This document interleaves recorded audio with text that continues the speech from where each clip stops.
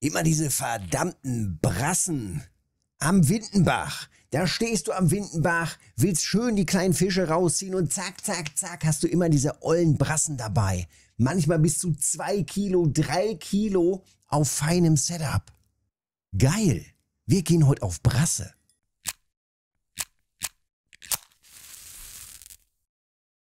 Also nutzen wir doch die Möglichkeit, wenn doch hier die dicken Brassen reinballern. Diese ollen Beifänger, die man gar nicht haben will. Oder hier diese schäbigen. Und heute mal gezielt auf Brasse. Einfach mal gucken, ob da noch ein bisschen was geht. Also raus mit den Brassenködern, raus mit der Brassenfuttermische und raus mit Brassen-Setup.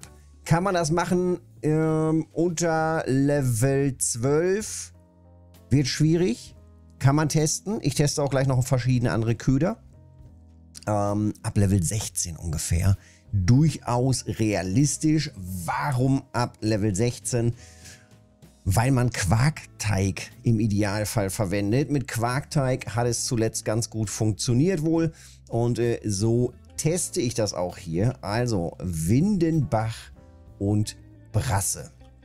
Was ich wie gesagt auch noch testen werde, sind die klassischen Brassenköder. Zumindest vielleicht gleich nochmal Perlgraupe oder Erbsenbrei nochmal mit reinnehmen. Übrigens, wenn du Fragen hast, wie Brasse, da nochmal ins Video reingucken. Da gibt es alle Infos zu Brassen. Brassen an der alten Festung natürlich hauptsächlich. Welche Köder, welche Spots, was ist wichtig, wie soll das Setup aussehen und so weiter und so weiter. Also komplett Info zur Brasse. Ja, jetzt hier an der alten, äh, an der alten Festung, jetzt hier am Windenbach sollte das auch gehen. Und ich hoffe, dass da ein bisschen was geht. Wir müssen natürlich warten. Es ist jetzt erst 21 Uhr. Es wird so langsam dunkel. Und die Brasse ballert halt in der Nacht rein. Und äh, da würde ich sagen, das ist schon fast so ein kleiner Nachteil. Es wird relativ spät dunkel hier. Ähm, an anderen Gewässern ist es schon mal ein bisschen eher dunkel. Und äh, hier braucht das tatsächlich ein bisschen länger, bis es richtig dunkel wird. Aber ich hoffe, dass dann in der Zeit hier trotz allem noch ausreichend Brassen reingehen. So, jetzt ist hier gerade die letzte Futtermische rein. Gleich direkt nochmal Futtermische nachmachen. Ich verwende Standard Brassen Futtermische gerade, also nichts Besonderes. Brasse, so sieht das aus. Einfach mal anfertigen. Machen wir mal direkt noch einen mehr. Und dann direkt wieder nachlegen. 10 von 10, perfekt. Ja, und damit, na guck, da geht es auch schon direkt weiter. Damit hoffe ich jetzt gleich hier auf die dickeren Brocken. Direkt nochmal reinschmeißen. Brasse. Dann hier die nächste. Und so sieht das Setup aus. Also Feeder-Set Start oder ganz normales Grundsetup. Oder naja, ein bisschen übertrieben. Fortuna Carp und HSV kann man aber auch machen. Ich bin hier unterwegs mit 7 Kilo Vorfach. Mm, und weißt du was? Ich gehe mal hier einmal feiner rein. Denn zum einen, wir testen mal mit 4,4 oder 5,4. Ne, einfach nochmal ein bisschen feiner und kleiner. Die sind schon mal ein bisschen scheu, die Brassen. Deswegen testen wir hier mal kleiner. Einser Haken. Schön mit einem großen Haken. Wir wollen die großen Brocken Quarkteig als Köder. So machen wir das. Jetzt bin ich hier natürlich gerade runtergegangen. Heißt also auch runter von der Bremse, damit mir hier gleich nicht irgendwas abreißt. Also Vorfach ist kleiner geworden. Dementsprechend auch die Bremse kleiner wählen. Hier haben wir schon mal einen schöneren Brocken. Jawohl. So sollen sie aussehen, die Brassen. Die dunkel gefärbten. Dann macht das Bock. Und so im, ich sag mal, im Bereich von 2 Kilo plus ist das dann auch kohlemäßig richtig interessant. Übrigens mit Schnurclip das Ganze hier. Schnurclip von nur, hoppala, war noch nicht mal zu der Bügel. Schnurclip von nur 8 Meter. Und jawohl, sie werden größer, so soll das sein. Wieder Futtermische nachwerfen. Beim Brassenangeln immer mit Futtermische. Immer mächtig raus damit. Zack, 8 Meter und gib ihm.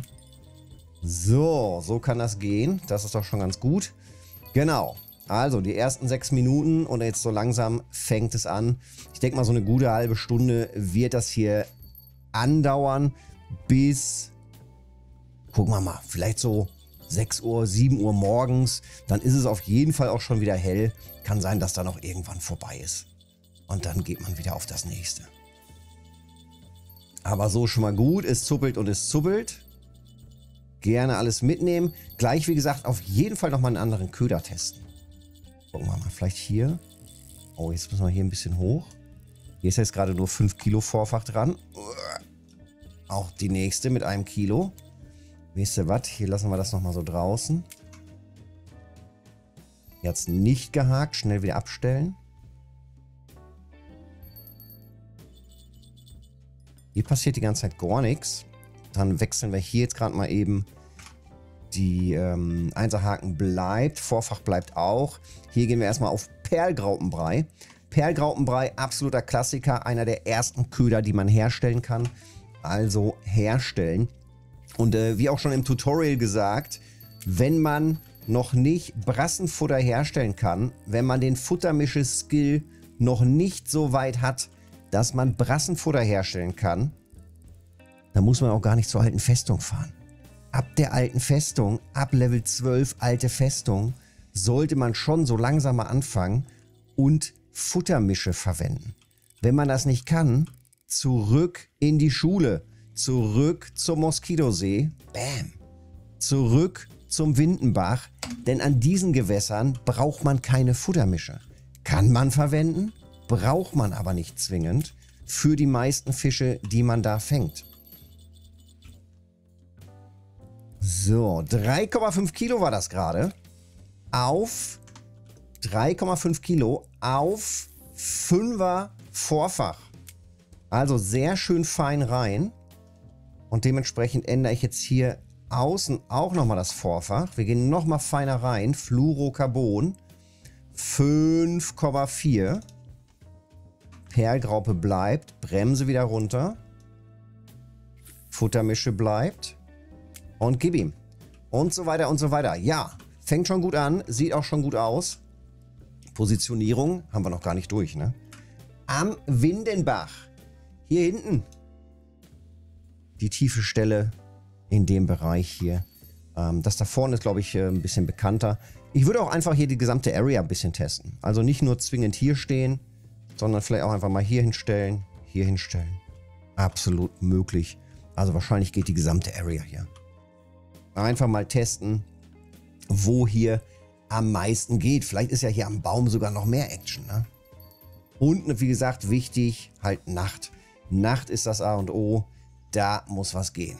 Jetzt ist natürlich ein bisschen blöd, wenn jetzt gerade der Perlgraupenbrei gar nicht funktioniert, vertue ich mir natürlich jetzt hier oder vertrödel ich jetzt hier drauf äh, ganz viel Möglichkeiten, weitere Fische zu fangen.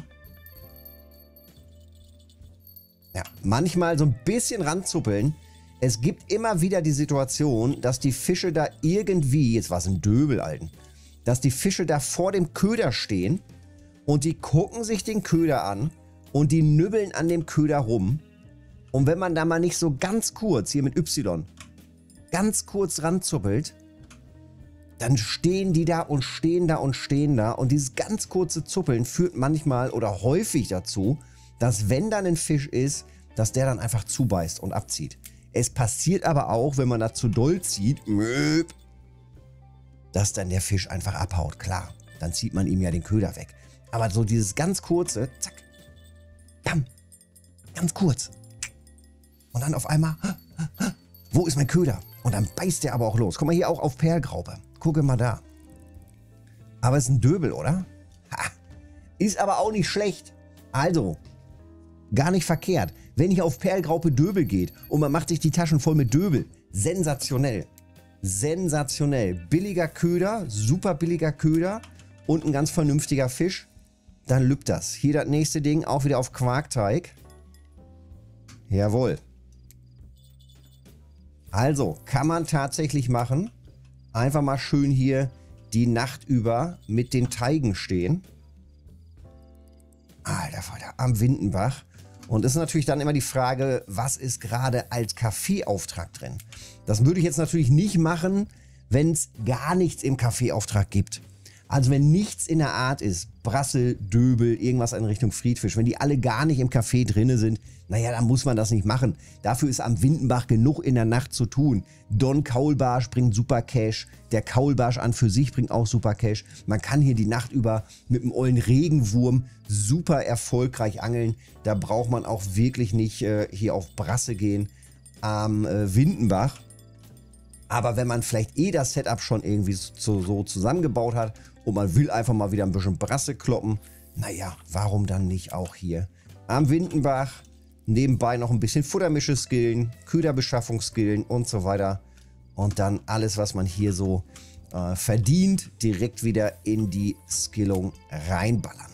So, so und so ähnlich sieht das aus. Das ist schon mal gar nicht verkehrt. Wir werden hier aber, na, ich guck mal, jetzt haben wir gleich eine Viertelstunde um.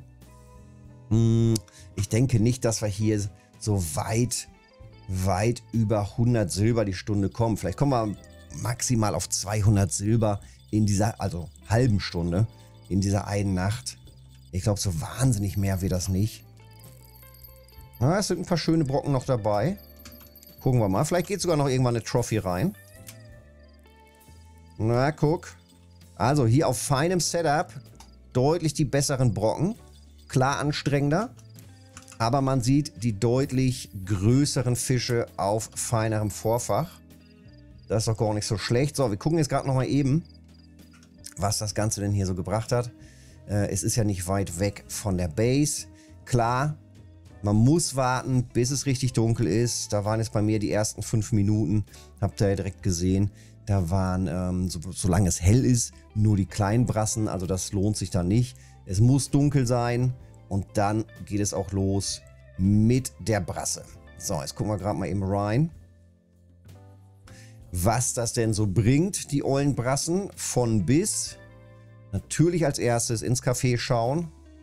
Das machen wir als allererstes immer. Kaffeeaufträge. Brasse ist drin, 4 mal 1 Kilo und wir haben richtig viele mit 4 mal 1 Kilo. Also, die nehmen wir alle mit. 1, 2, 3, 4 haben wir schon mal 50 Silber im Sack. Hervorragend. Und dann gucken wir hier nochmal rein. Nach Preisen sortieren. 10 Silber, 7 Silber, 6 Silber. Also ihr seht, das lohnt sich. Hier sind die mit 1 Kilo ungefähr, 1,2 Kilo. Die bringen dann schon so um die 3 Silber, 3 Silber 50. Das ist doch auch schon mal ganz okay. Und dann die kleineren, unmaßigen, naja, die bringen es dann halt wirklich nicht mehr. Ähm, hier kann man dann, wenn man schon soweit ist, richtig gut Fischfetzen produzieren, weil alles unmaßig, aber eben alles über 500 Gramm und die brauchen wir eben für Fischfetzen. Und die lohnen sich einfach kohlemäßig nicht. Die Busse nicht mehr verkaufen. Alles, was unmaßig ist, zack, in eine Tonne kloppen, beziehungsweise halt zu Fischfetzen verarbeiten, fürs Aalangeln dann an der alten Festung oder für Quappe. Und was auch geil ist, gerade schon gesagt, der Döbel. Auch gar nicht so schlecht, ist ungefähr in der Preislage hier von der Brasse, aber viel kleiner.